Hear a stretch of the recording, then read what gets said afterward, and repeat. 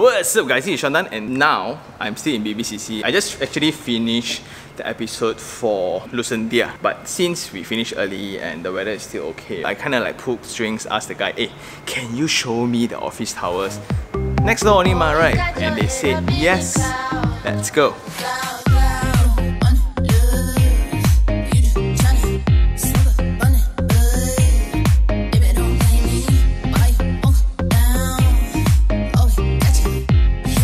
Okay, we are back in the sales gallery again. This is the Stride, the office towers, where there's a few different elements that's very exciting inside. You have Regus, you have the Bazaar Mall, you have the entertainment hub, then you have cinemas in the future. So for offices, there are a few considerations that's very different, but I'll brief you guys along the way. And the main concern for office spaces in this area, right, is just in abundance. And you have the 118 TRX side also got, but Offices also got two types. One is the corporate buildings and one is stratified buildings. Corporate is one full tower, one owner, you come and lease. The stratified office is a smaller portion in a floor that you can own yourself. This office is a stratified office where it's versatile. You can take up 2 unit, 3 unit, 5 unit, half a floor, up to you entirely. Another key difference will be the building setup. Is the building built in isolation? Like for example, all the Menara, Menara last time, right? Office meaning office only. But this one is built within the BBCC master plan altogether again where you have the Lalaport Mall by Mitsui Fudosan. Then you have the residential components. Check that out. That is the upcoming Japanese mall Lalaport.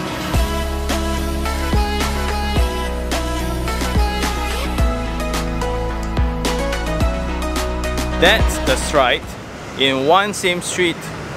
That's TRX and in between those you have all these old shop houses and you have a lot of famous local cuisines around. So the benefit of these, within walking distance, the employees in the office building can still come out here to have some conventional food instead of just having all the food from the mall. Okay, so that's very important, especially from an employee like myself. For a site to really make sense, connectivity needs to be the first thing to be resolved. The current congestion that is happening on site right now, right, mainly is because of this project. Lah. But it's because they want to resolve it in a long term. There's a lot of tunnelings that needs to be done. Road is only one way. Like how do we build branch off, right, is by playing with the tiers, some underground, some above. Also, BBCC is building a transit to tie the MRT, the LRT, as well as the monorail together in one same site. So if your employees were to just take the train and come over, it will be very safe because it's all shaded. Just they need to go through the temptation of not buying stuff as they need to go through the mall. now we are on Jalan Pudu and this seems to be the main access to the office and this will be the drop off lah.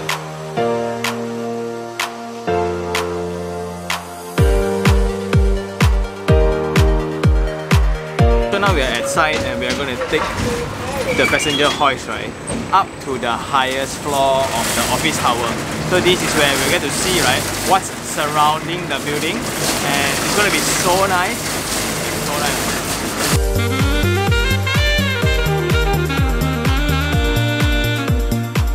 Now we are at level 44 and at this height, do check out the view. That's IKEA, that's MyTown, right? Then this will be TRX altogether, right? The whole master plan and it's just like a stone throw away, literally. At the end there, you will have KLCC Pavilion Tower, then you have Times Square here. It's pretty obvious that uh, what you can see here, right, it's not fully completed yet. This unit itself they call it the Sky Office because of the superb double height ceiling. Not only the view, right? a lot of people will think like, huh? Because of the view, no point, man. Actually, what I'm trying to tell you is that the location. You are in between KLCC, TRX 118, Pavilion, Times Square, and etc. And what's important about that is this is the CBD. The opposite side, we have Bandar Malaysia there. And part of the characteristic about this location is you have the new and the old coexisting together. You can see a lot of like old shop lots around here but then you have this brand new township. That's a transit hub right?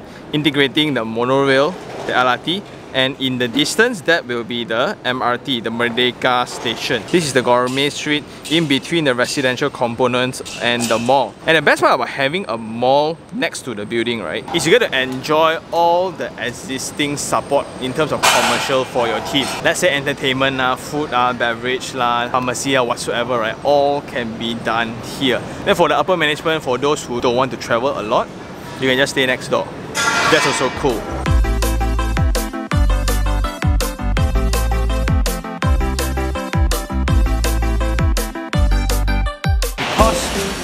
Layout of your office is already so small, there sometimes will be cases where it's a shortage of meeting spaces, shortage of temporary working spaces. Let's say you have a project you just secured, but you need a lot more stuff. You cannot accommodate them on time. Have no worries because Regus is here. Okay, let me show you guys. Okay, what you guys are seeing right now is co-working space, right? This is where you have all the cubicles. So individually you can rent. Then you also have a space where it's double handed. This will be the co-working space to have your extra teammates to help you with whatever project you just secured. This is also somewhat like a support to the tenants of this office building. Here you get to have like hot desk system or monthly basis kind of rental or you want cubicles or room for sales calls and things like that, right? That's very nice.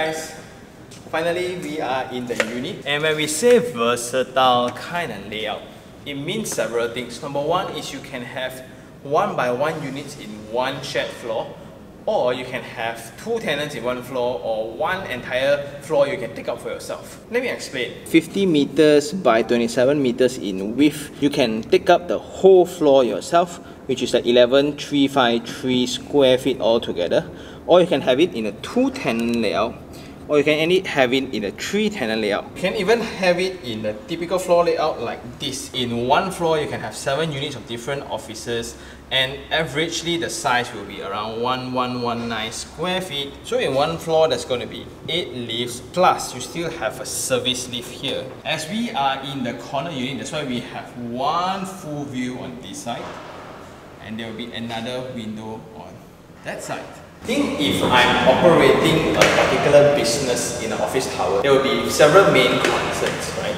Number one is my workforce. How do they come to work and where do they eat?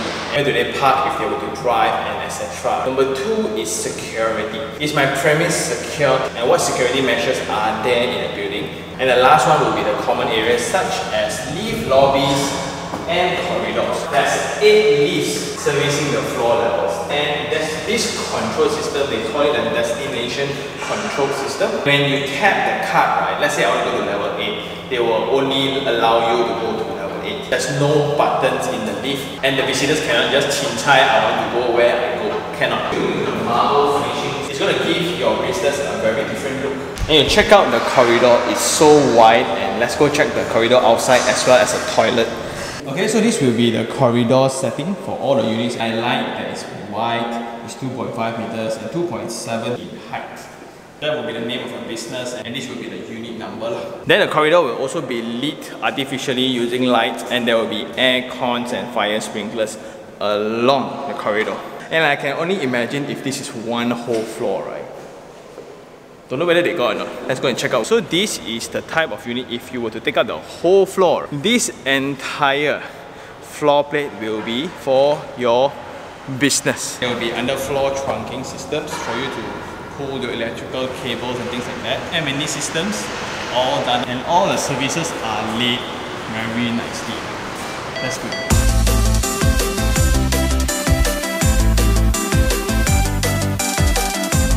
Wow, this is the gents. Full mirror, that's good. Three basin and then you have the cubicles on this side. You pull tiles up and it looks superb. After going through the office towers, right, we've seen the one flat story one. We also see the stratified ones, right? It's really amazing because of the infrastructure as well as the location and the GBI MSC things, right? What they are pushing right now in the same location will be this MGB, Malaysia Grand Bazaar. Whatever you're seeing right now is all the kiosks, but kiosk is around 300 square feet and they are renting out to local artisans to do their sales. Per kiosk is going to cost 95 ringgit rental per day. And this is their initiative to promote like if you're a local artist or you want to sell arts and craft, local products or whatsoever, you are welcome here and operate a kiosk yourself. Besides the MGB, right, the Grand Bazaar, there's another thing called the Zepp Hall. This is owned by Sony and it's going to be the very first Sony Zepp Hall in Southeast Asia. This is like a live concert hall, but think of it as like a mini franchisee mode concert hall across the world. If I'm a band and I sign up agreement with Zepp Halls, I'm going to conduct performances in different Zepp Halls across the world. Imagine your favorite band performing live in this location. There will be several sets of sittings, uh, normal sittings that usually where I go, right? Then there's a VIP, that's the VVIPs over there, right? And it's going to be super amazing, a great addition to whatever commercial center that is already very sophisticated here. Imagine this, LaLaport is here, MGB is here, Zepp Hall is here, and your office is above all this. That's very exciting. Also to mention, right, there will be a banquet hall in this project as well where you get to have dining or you want to have corporate dinners because this hall can also be converted into an event space if you want to. But guess if it's from Sony, the sound system here is going to be now at the entrance, this is the drop off. Then there will be a reception, a turnstile system right here, and there will be a security counter at this side lah. And then this will be the lift lobby using the destination only system. And judging based on the height, it's gonna look super amazing. And now it's raining already. I guess that's all. It's now time for Sean Take 3 on 3.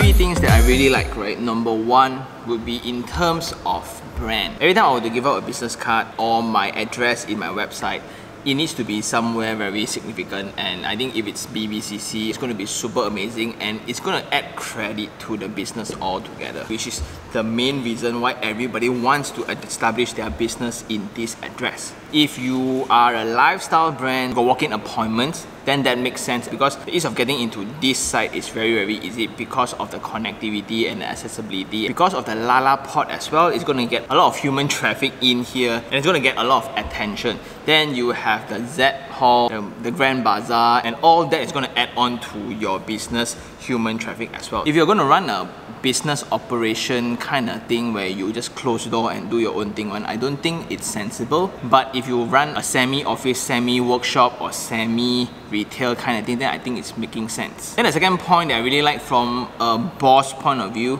where my staff is going to come from, where they're going to eat, and how they're going to live their life after work. This address kind of solves all that. Got a transit hub. Even if you are driving, right, there's ample amount of car parks in this building itself.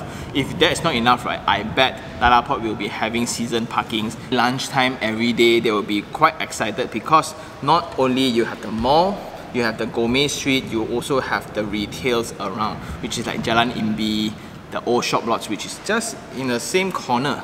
I think that's good. And I bet they're gonna be super excited when their favorite band is in Zepp Hall or their favorite indie band is performing on top of LaLaport. And last of all, in terms of ownership, there's only several formats that you can own. One is a shop office type where you can have the second floor or third floor. Or you can actually rent a corporate tower, one floor or half a floor of it. But here you get to own a particular stratified office 1119 square feet in 1.6 million and that's going to be different in comparison to whatever towers in the surrounding. This is also going for GBI and they are also going for MSC certified and this may be a huge consideration for your business if you are going for tax incentives and etc. Then if I were to own a small office space, sometimes when I get big projects, when I need a temporary team to help me on this, they have the, the Regus facilities to help me with the meeting halls, convention centers, hot desk and etc. Well then on the three negative points, I think number one would be the culture of working from home. Lah. Because now, as we are going into another lockdown, most of us, if possible, are working from home already. So you can see a lot of co-working space is not really doing that well anymore. Again, if your office is a pure operational office, then I think working from home is going to be way more effective. But if you are a office where you deal with walk-ins, you deal with appointment basis customers, then it makes a lot of sense. Then number two, we talked about the different format of ownership. In this location, they are just in abundance. you have TRX, you have Merdeka 118, you have Pavilion area, and etc. It's just in abundance. There's just so many floor areas in KL to be operated as an office. That's why the rates are going to be quite competitive. And last of all would be the stigma for this location. Again, it's the ex-Pudu jail. There's the, some negative vibe to it. And with that, I think that's about it for this episode. Um, it's a quite impromptu visit. That's why it's going to be here and there and it's pretty obvious that the site is not ready. But what we can really see that in terms of office tower alone, I think it's very functional. GBI, MSC, your standard requirement. What they are doing differently, they are adding on a lot, like the Zepp Hall, the mall, the living, the entertainment, and it's going to be super, super exciting. If you really like this episode, like it, share it, and even subscribe for more information like this. Until next time, this is Sean Tan. Ciao.